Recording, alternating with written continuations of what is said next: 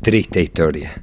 Eh, saliendo de Leones, donde vivimos hace más de seis años, eh, mi hijo tuvo un pequeño accidente, se quebró el brazo y lo traía aquí a Marco Juárez. Y cuando voy llegando a la rotonda, antes de sacar el cambio, prendo las luces, al doblar ya subir a la ruta, eh, veo un móvil que me hace señas, paré, me pide documentación, le entrego los documentos y me dice, le tengo que labrar el acta. Le antes de eso le dije, por favor, estoy apurado, llevo a mi hijo al médico. Y que se había quebrado, le aclaré. Y me dice, tengo que labrarte el acta. ¿Y acta por qué? Por las luces. Entonces me bajé, le señalo la rotonda, antes de subir la rotonda, desde acá se ve, eh, yo prendí las luces, no voy a aceptar que me labren un acta sin, sin motivo. Eh, están los papeles en condiciones, tengo el auto en condiciones y cuando me bajé, pero ¿quién te crees que sos? Me trató de muy mala manera, cosa que en, el momento que estaba viviendo con, mi hijo quebrado y apurado, me, hizo exaltarme más. ¿Y cómo quién te crees que sos vos? ¿Quién te crees que sos? ¿Qué autoridad tenés para, para hacerme una, una multa o algo que no corresponde? Y salta el otro la otra persona, me voy a dirigir en personas porque no, para mí no tienen cargo ninguno. Eh, ¿A quién te comiste? Eh, cosa que más me, ¿a quién te comiste vos? Más me ofuscó y, le digo, a mí no me van a labrar ningún acta, denme los papeles, yo me voy, ustedes no tienen autoridad. Y se llevó los papeles para detrás del, supuesto móvil y, ah, ustedes me van a identificar, yo los voy a identificar a ustedes. Tomé un papel y lápiz y le pedí la identificación, constaté ahí que ninguno de los dos uniformes tenían la correspondiente identificación que deben tener, entonces le pedí, ya uno se me vino haciendo el malo, eh, me quiso atropellar, mi señora se interpuso, se bajó mi hijo con el bracito medio enyesado, también se interpuso, entonces fui a tomar la patente del auto, ahí vino a empujarme de nuevo, me le escabullo y y cuando veo la patente trasera no coincidía con la delantera, más miedo me dio porque digo, hay dos personas armadas con un auto robado para mí, porque ningún coche puede circular con dos patentes totalmente diferentes, eh, más allá del color que tenga.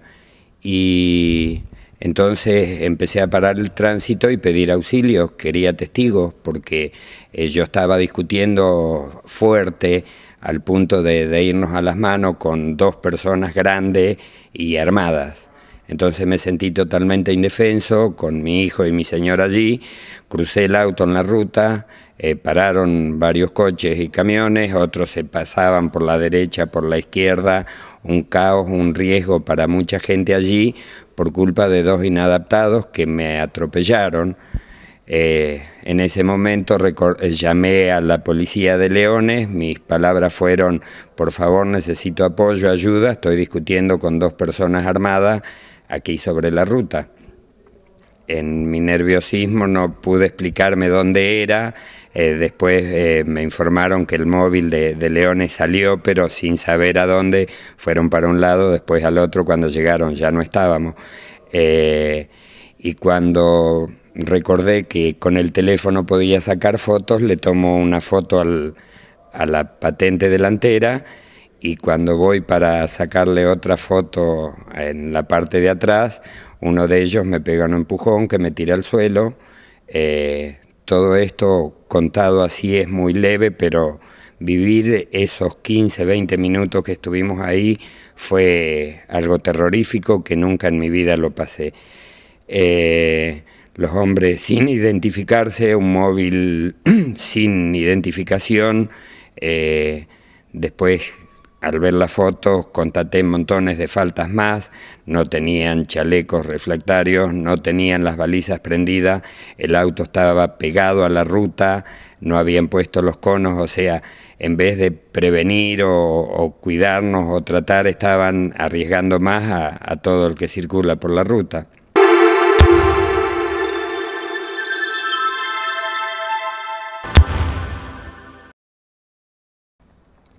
Cuando voy a sacarle la foto atrás, que este me empuja y caigo al suelo, mi señora me ayuda a incorporarme.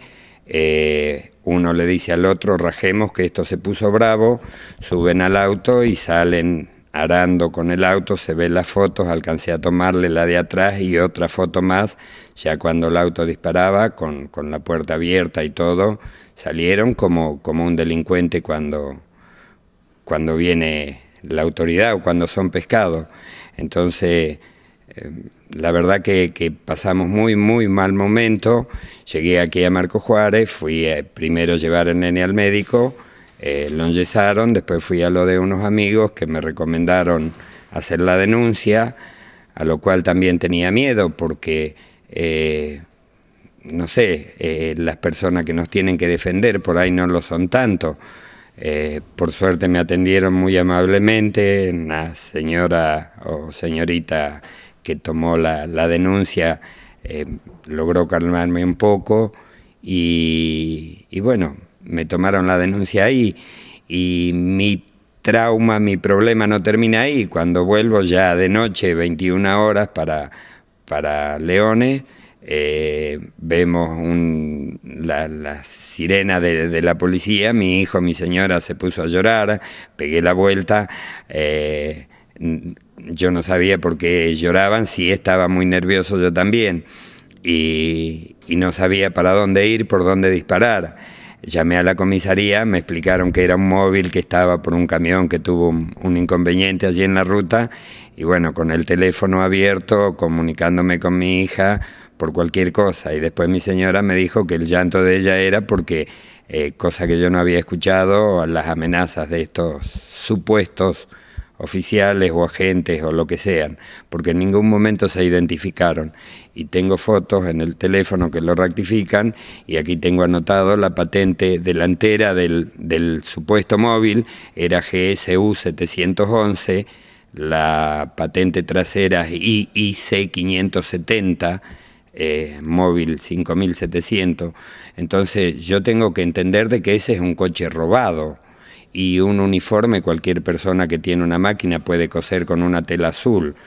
Eh, llegó el momento donde yo me estaba enfrentando a dos delincuentes. Eso es lo que estoy pensando hoy. Me jugué la vida con, con dos tipos ahí, la vida mía y de, de, mi esposa y de mis hijos. A lo cual... Eh, no es justo que sigamos viviendo épocas de temor. Anoche tuve que trabarlas, no tuve, trabé por miedo las puertas con sillas y con todo, porque eh, las amenazas de esta gente ya te vamos a encontrar, ellos tienen todos mis datos y yo no tengo datos de ninguno de ellos. Si alguno de ellos tuviese un poquito de hombría, se sacaría el uniforme, vendría, ya que tiene mis datos, a mi casa y vendría a hablar como un ser humano o como patotero, porque yo me sentí como entre la barra brava de un, de un cuadro de eso, pesado, eh, porque eran dos hombres bastante fornidos.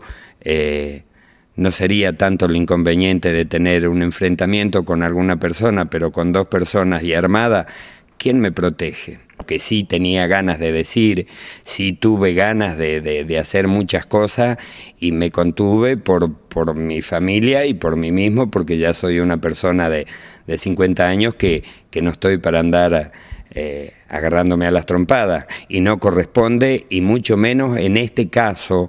Eh, que no, yo no había cometido ninguna falta, más allá de que si la hubiese cometido, que no lo cometí, tengo plena seguridad de que me pueden seguir todos los días, viajo a menos de 100 con el auto que está en condiciones, tengo las cosas en condiciones, eh, más allá de que, que, uno pueda cometer una falta, tampoco tienen ellos eh, autoridad para, para tratarnos de ese modo y mucho menos sin ninguna identificación. Eh, entonces, gracias por escucharme y poder hacer público esto, porque si no, le estamos dando la razón a a Disépolo cuando escribió hace más de 50 años que falta de respeto, que atropello a la razón. Eh, tenía toda la razón y dos tipos porque son grandotes y con un coche FIA pintado eh, vienen a atropellar y a maltratar a la gente. De no haber cruzado el auto yo ahí en la ruta y que varios vehículos, varias personas hubiesen parado y haber tenido testigo, bien podían haberme pegado un tiro en la cabeza y dejarme tirado ahí. Eh, quién me defiende acá? Creo que eh, me juego a esta nota con mucho miedo y a, los otros medios que, que han tomado mi, denuncia o a la, a la, seccional aquí de policía que anoche me atendieron muy bien y, aceptaron mi denuncia, me juego a esto para que de una vez por todas terminemos con esto que, que alguna vez nos pasó, ¿no? La fuerza se imponía la razón. Eh, tenemos derecho a protestar, tenemos derecho a, que si nos para alguien que sea con, mm, con las medidas que deben serlo, ¿no? No puede nunca, lo que dije recién, por ahí mezclo las cosas, pero quiero que, disculpen por ahí mi, mal expresar, eh, mi nerviosismo me supera.